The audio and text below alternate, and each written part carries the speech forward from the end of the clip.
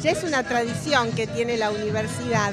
En realidad es este, una, son jornadas muy especiales que no hacen más que, eh, que abrir sus puertas eh, para recibir a ese grupo, este, a esa población de estudiantes que están eh, finalizando sus carreras este, en el secundario, el nivel secundario, y que están pensando en alguna opción eh, en relación a la continuidad de sus estudios.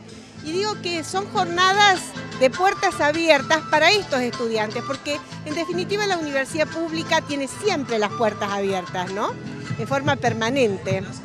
Además también se complementan con talleres en escuelas secundarias, visitas a los pueblos cercanos de Río Cuarto. Claro, no, las actividades que se realizan, en realidad las CUPA este, son parte del programa que tiene la Secretaría Académica en relación a la difusión y la promoción de las carreras de grados que ofrece a todo el medio, la región y bueno y al país.